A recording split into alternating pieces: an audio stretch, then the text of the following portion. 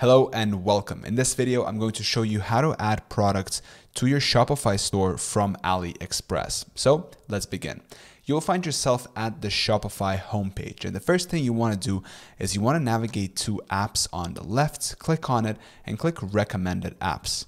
On the bottom here, you'll find find more apps in the Shopify app store. So just click this and it will navigate you, it will redirect you to the next page where you can actually search for apps on Shopify. So we're just gonna search for AliExpress and click enter.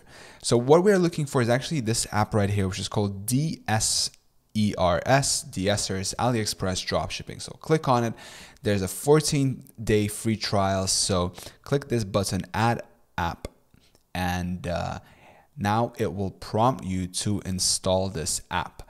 What we want to do is just click this button on the top right, install app. And the first thing you want to do is create an account. So I'm just going to click create an account for you. We will use your Shopify email address. Okay, great. Now I'm going to go for the free and basic one.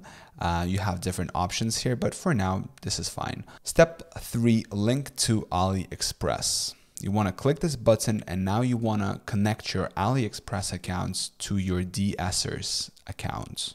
Now, once you logged into your AliExpress, you just got to click authorize and this will connect DSers to your AliExpress accounts. Here on the next page, you want to click let's start importing products. So I'm just to click this. So as you can see, what we need to do is first we need to copy the supplier link and paste it here in the import list. This will import the product into DSers.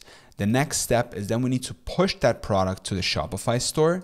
We need to wait for the product to be pushed and the product has been successfully pushed to our product store. So now let's actually give this a try ourselves. So now let's actually give this a try ourselves. So we need to go to the import list here on the left. And the first thing we need to do is we're going to click here on the import to search. So this is where we're going to import our AliExpress product links. So I found this product that I would like to import. I'm just going to copy the URL and then I'm gonna go back to DSers and I'm gonna paste this link here. And once it's pasted, I'm just gonna click OK.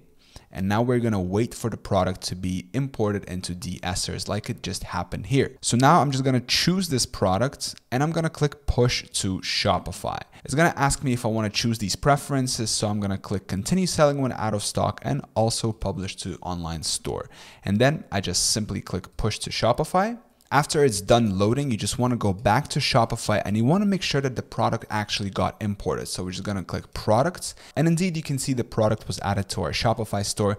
Now all that's left for you to do is just to edit the title, edit the description. You want to go through the images and you want to make sure that they're high quality and they reflect exactly what this product is about. Edit the options, but otherwise this is exactly how you add a product to your Shopify store from AliExpress using D Essers. If you found this video helpful, please make sure to drop a like on this video, subscribe to the channel, and thank you for watching.